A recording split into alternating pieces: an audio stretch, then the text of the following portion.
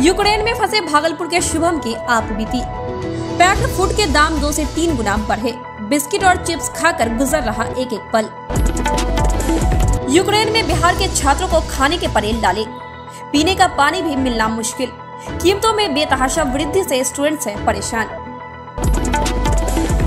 औरंगाबाद में दीवार काट छह लाख की ज्वेलरी उड़ाई। व्यवसायियों ने पुलिस गश्ती को बताया खाना पूर्ति। गश्ती दल बढ़ाने की मांग।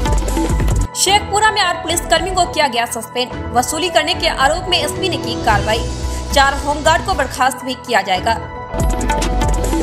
नालंदा में दुकान से 10 लाख के सामान की चोरी। चोरों ने मोबाइल दुकान का शटर उखाड़ा। कारोबारियों में आक्रोश। खगड़िया में ट्रक ने ऑटो को मारी टक्कर। ऑटो में सवार दो मजदूरों की हालत गंभीर। रोज़गार के लिए जा रहे थे ट्रेन पकड़ने। जहानाबाद में युवक को अपराधियों ने मारी गोली। घर में घुसने की कोशिश कर रहे थे सभी बदमाश। विरोध करने पर फायरिंग। औरंगाबाद में दीवार काट छह लाख की ज्वेलरी उड़ाई। व्यवसायियों ने पुलिस गश्ती को बताया खाना पूर्ति। गश्ती दल बढ़ाने की मांग। ट्रक के पहिए में फंसा बाइक सवार। दर्दनाक मौत।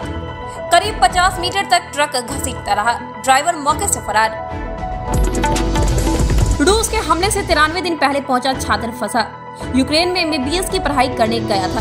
बघा के सुधाकर का घर वालों से टूटा संपर्क। मुजफ्फरपुर में नशा खुरानी गिरोह का आतंक। दो लोगों को निशाना बनाया। बेहोश करने के बाद सड़क किनारे फेंका। वीआईपी सुप्रीमो मुकेश सैनी मंत्री पद से देंगे इस्तीफा। एनडीए की बैठक में जमकर निकाली भड़ास सरकार में अफसरशाही का लगाया आरोप। बीच बैठक से बाहर निकले। बांका में दहेज के लिए विवाहिता को ज़िंदा जलाया। मृतका के भाई का आरोप अक्सर दहेज के लिए प्रताड़ित करते थे ससुराल वाले।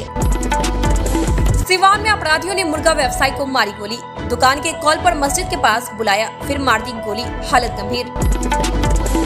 नेहा सिंह राठौर का नया पॉलिटिकल स्टायर किसानों के ज़रिए मंत्री विधायक पर निशाना। बोले किसानों का दर्द केहू बूझे नहीं।